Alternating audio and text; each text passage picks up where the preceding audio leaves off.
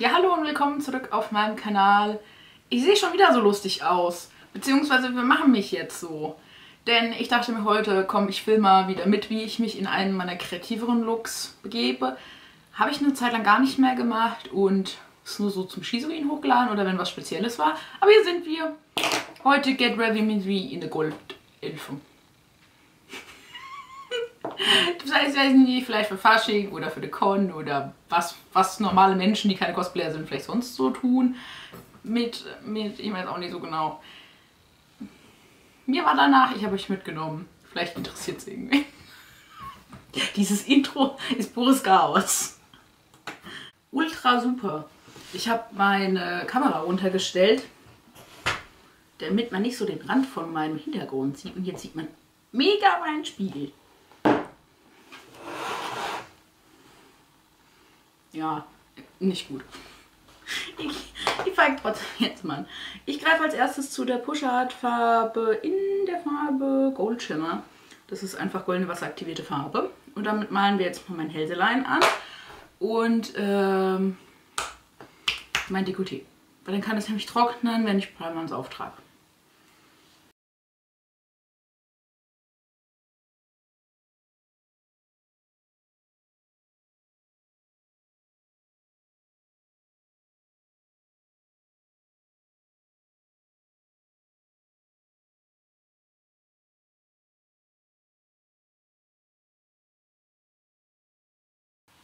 Ich hoffe, das reicht erstmal. Ich weiß nicht so genau, wo mein Oberteil endet. Deswegen wusste ich nicht so genau, bis wohin ich malen soll. Ähm, wir hören jetzt mal hier auf. Beziehungsweise, ich wollte noch die Tipps von meinen, also die Spitzelchen äh, von meinen Öhrchen anmalen. Ich dachte, das könnte ganz cute aussehen. Dann nehme ich jetzt auch einfach den Pinsel. Man könnte auch einen kleineren nehmen, dann wäre es wahrscheinlich einfacher, aber... So, während mein Hals trocknet, gehen wir jetzt erstmal zu äh, Primer über. Ich mache mir gleich auch noch Kontaktlinsen rein. Allerdings habe ich gemerkt, dass die schon ein bisschen wenig Wasser hatten. Also so Wasser, Kontaktlinsenflüssigkeit. Deswegen habe ich jetzt nochmal Flüssigkeit gewechselt und lasse die in der Frische nochmal ein bisschen liegen, damit es uh, angenehmer fürs Auge ist. Und ich nehme einen Primer, der sehr glowy ist. Und dafür, davon eine gute Menge. Aber da habe ich jetzt, außer dass er glowy sein sollte, keinen äh, Sonderkriterium oder so benutzt. Wenn man den Look jetzt auch außerhalb auf einer Con oder zu Fasching oder weiß ich nicht was tragen wollen würde, müsste man vielleicht doch auf einen Primer achten, der so ein bisschen auch ähm, ein bisschen nach der Langlebigkeit guckt. Das war jetzt für mich, dadurch, dass es ja jetzt nur für ein Video ist und ein paar TikToks und so, kein super duper Kriterium. Ich habe den Primer in meiner Sammlung gesehen, also den benutze ich jetzt. Der darf jetzt kurz sitzen. So. Außerdem sprühen wir noch ein bisschen von dem Catching Clouds Hydrating Milky Face Mist, ein bisschen was drüber. Uh, das war zu nah. Und während der ganze Spaß jetzt trocknet, gehe ich mal meinen Schwamm nass machen. Für die Foundation.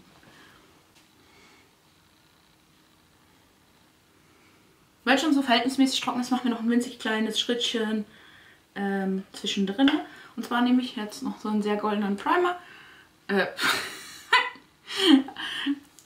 natürlich ist das ein sehr goldener Highlighter. Hier ist aus der Pigmented E von Essence. Und damit hätte ich jetzt quasi noch das Gold. Per se müsste man die nicht setten, aber ich habe diesen Highlighter und ich benutze den viel zu wenig. Ähm, und ich finde, es passt irgendwie so voll gut, deswegen tun wir dies jetzt. Ich finde allgemein bei solchen Looks ist immer voll schön, nochmal so durch seine Sammlung zu gehen und zu sagen, hey, guck mal, die Produkte kann ich benutzen, das kann ich mal wieder benutzen. Auch so Sachen, die man halt sonst eher seltener benutzt. Dementsprechend baut man dann vielleicht auch Schritte ein, die jetzt nicht nötig sind. Wenn ich mir mein linkes Auge so angucke, stelle ich gerade fest, dass die Kontaktlinsen äh, am Ende ihrer Lebenszeit sind. Die kommen nach dem Video auf jeden Fall weg. Wenn ihr merkt, die sitzen nicht mehr richtig oder die bewegen sich nicht mehr richtig mit oder so, dann ist das oft ein Zeichen dafür, dass sie es geschafft haben.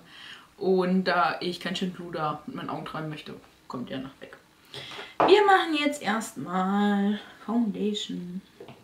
Ich will jetzt einfach mal hier für die Stay Naked Hydromaniac Foundation in der Farbe Ultra Fair entschieden. Ähm, und dann mische ich einen winzig kleinen Möppel von dem Highlighter Elixier von Sleek rein. Hat er auch eine Farbe? She glow it glow? She go with it, she got it glow?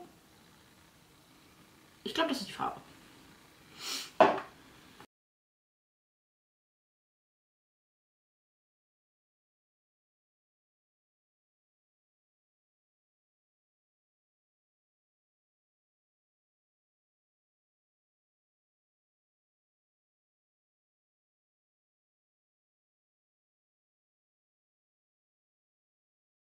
Ich habe mich gerade spontan dazu entschieden, doch keine weiße Lidschattenbase aufzutragen, sondern einfach so mit dem restlichen Concealer noch über mein Augenlid zu gehen.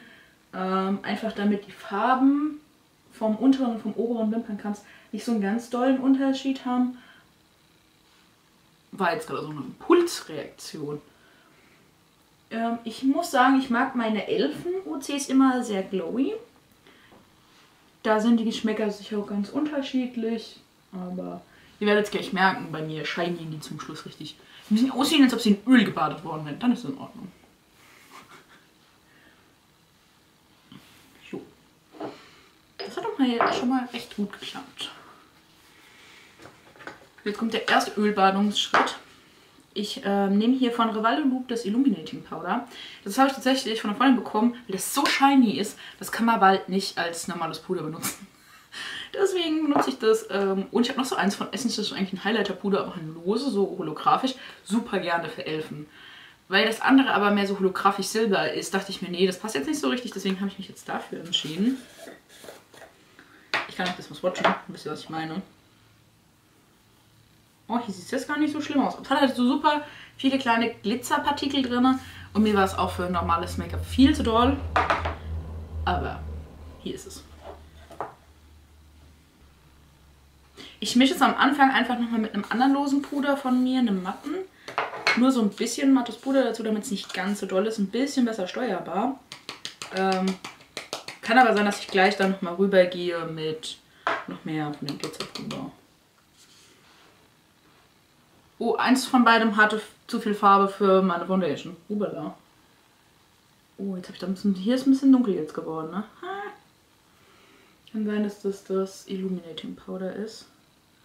Das andere ist eigentlich schon für so super helle Menschen wie mich. Einfach weil da auch ein bisschen Schimmer drin ist, habe ich mir jetzt hier von Essence auch noch eins von dem Liquid Powder Fixing Mist gekrallt aus einer NE. Da ist auch so ein bisschen Schimmer mit drin und das geben wir uns jetzt übers Gesicht.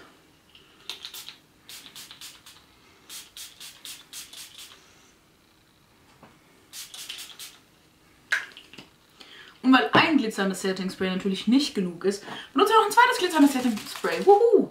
Und zwar das hier. Ist das nicht pretty?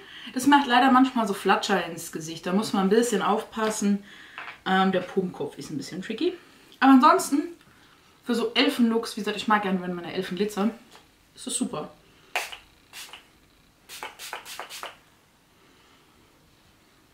Ich gebe zu, es ist die falsche Farbe, weil wir ja mehr so goldthematisch angehaucht sind, aber ist egal. Die Pause nutzen wir uns zum hier hydrieren und so. Ich glaube, wir machen jetzt erst das Gesicht fertig. Ähm, da habe ich mir jetzt einfach mal so ein paar Produkte gegriffen. Ich weiß nicht, ich finde der Bronzer hier ist sehr schön für helle Häutchen. Ist auch aus einem LE, das volles LE-Video. Ähm, das ist eigentlich ein Lidschatten, aber ich fand den irgendwie cute. Ich den benutzen als Blush. Und damit es schematisch zusammenpasst, benutzen wir den hier als Highlighter. Und weil ich meine Haare tatsächlich benutzen werde und keine Brücke oder so, benutze ich auch noch den Brow in der Farbe Blond für meine Augenbrauen. Bisher ist es so super unspektakulär, ne? Bis auf, dass ich einen goldenen Hals habe, könnte das auch normale Make-up-Routine sein.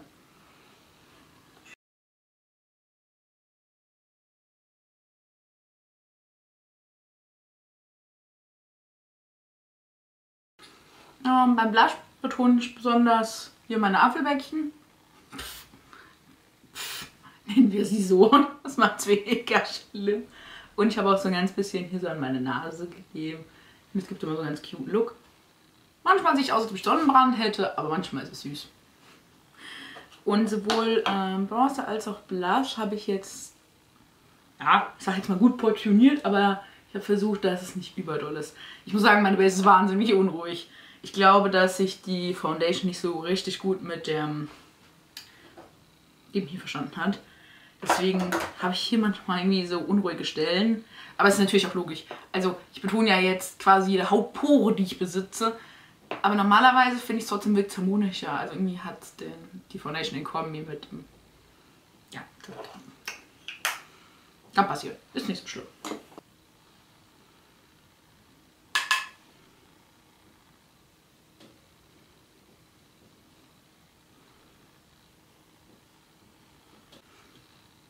Wir machen jetzt die Augen und ich hoffe, dass ich das nicht bereue, dass das jetzt nicht überall hin vorlautet und zum Schluss ganz furchtbar aussieht. Ich habe mir einmal hier von Anastasia Beverly Hills die Norwina Palette gegriffen, die rosa, um genau zu sein. Ähm, weil ich so ein bisschen das Rosa da geben wollte. Da, die weiß ich auch nicht so genau. Benutze ich gleich einfach Farben und sage euch, welche ich benutzt habe. Und dann habe ich noch eine einzige Matte Palette gegriffen, die einfach so teuer war, dass ich eigentlich mal eine Steuererklärung machen müsste für den Preis für sechs ähm, Lidschatten. Aber da ist so ein Gold drin. Dieses hier. Da ist es. Und das möchte ich auch benutzen. Ja. Und das werden wir jetzt tun.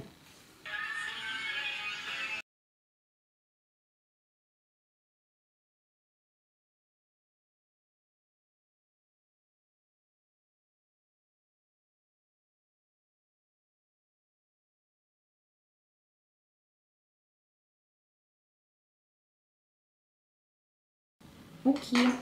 Ich habe jetzt einfach nur mit ein bisschen fluffigerem Pinsel diese Farbe hier aufgetragen, ähm, hier außen und dann noch mit der Farbe hier äh, ein bisschen aufs Lid und in die Crease und die Farbe habe ich auch an den unteren Wimpernkranz gegeben. Und ich glaube, jetzt kommen wir tatsächlich schon im Gold, zum Gold, weil ich möchte das so halbe halbe machen quasi, dass das hier jetzt so Gold ausläuft. Keine Ahnung, ob das funktioniert. Das schauen wir jetzt.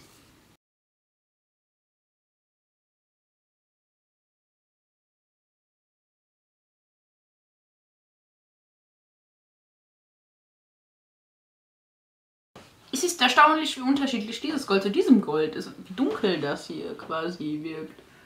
Ähm, hier ist der Übergang ein bisschen arg hart. Deswegen gebe ich hier jetzt noch ein bisschen so Übergangsgold auf, in der Hoffnung, dass es ein bisschen die Sache ablindert. Aber es hat doch halbwegs geklappt. Ich hatte richtig Sorge, dass ich mir jetzt alles voll brösel und brosen.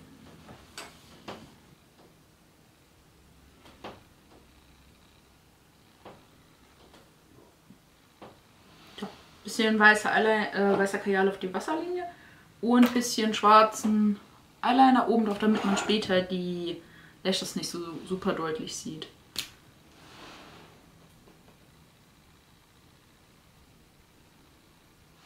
Bevor wir jetzt die Schimpertusche und so machen, möchte ich mir noch so ein paar Detaillinien ziehen mit der Farbe, die ich hier unten benutzt habe, damit es mein Gesicht sich wieder ein bisschen widerspiegelt. Äh Ja, dazu nehme ich einfach, das ist lustigerweise so ein Bastelpinsel, Malerpinsel. Aber der hat eine super süße Größe und das ist gut.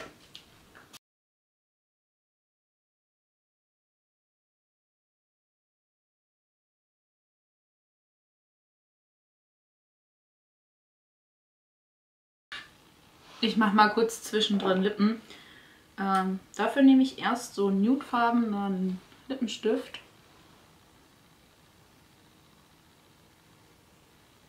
Das hier ist übrigens von L'Oreal, die Farbe 658. Und ich mag die eigentlich ganz gerne.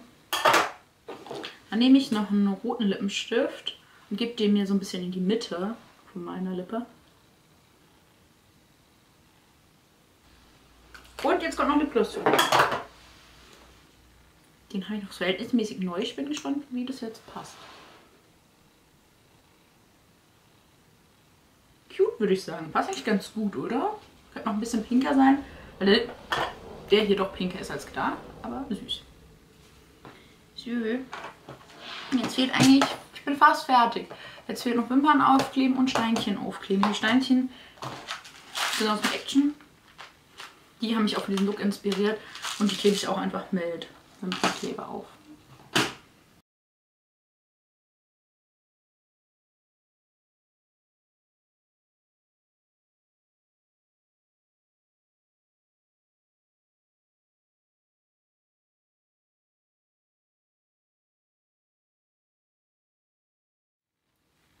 So. Ich habe mich schon mal umgezogen. Ähm, und Wimpern aufgeklebt. Allerdings trocknet der Kleber noch ein bisschen. Ich habe es ein bisschen arg gemacht mit dem Kleber. Das sind von Eldora die Fairy Dolly. Und die sind halt, also ihr seht es, ne? Kabums. Total hübsch für so Fantasy-Looks, wie ich finde. Und tatsächlich im Großen und Ganzen war es das jetzt schon. Ich ziehe mir jetzt mal noch meine Ölines auf und mache mir die Haare und dann sehen wir uns gleich für den fertigen Look. Tada! Ich gebe zu, meine rot gefärbten Haare, beziehungsweise rot orange gefärbten Haare, die oben hier bisschen dunkel sind im Blond, passen jetzt so mäßig ins Gesamtkonzept. Ähm, aber alles in allem ist cute, oder? Kann man, kann man machen. Also wenn ich davon mit rausgehen wollen würde, ähnlich wie mit dem Primer, müsste ich hier diesen lustigen Ringmesser feststecken. Der hängt jetzt nur an so zwei Klemmerchen. Ähm, das wäre so ein bisschen dünn. Meine Öhrchen, das war auch eine kleine Herausforderung. Ich habe mich jetzt entschieden, sie nach hinten wegzumachen und dass man sie quasi so durchsieht. Ja. Wisst ihr Bescheid? How to turning into elf. Oder so ähnlich. Ich hoffe, das Video Get Ready With Me ein bisschen andere Art hat euch trotzdem gefallen. Und falls euch mehr so ähm, Fantasy-Looks oder auch ein bisschen Horror, Gore, Gedönse interessiert, dann schaut doch gerne auf Instagram und TikTok vorbei. Weil da mache ich jetzt noch Bilder und mache TikToks. Auf TikTok bin ich immer aktueller als auf Instagram, also vielleicht eher auf TikTok. Und dann würde ich sagen, wir sehen uns nächsten Dienstag wieder. Macht's gut!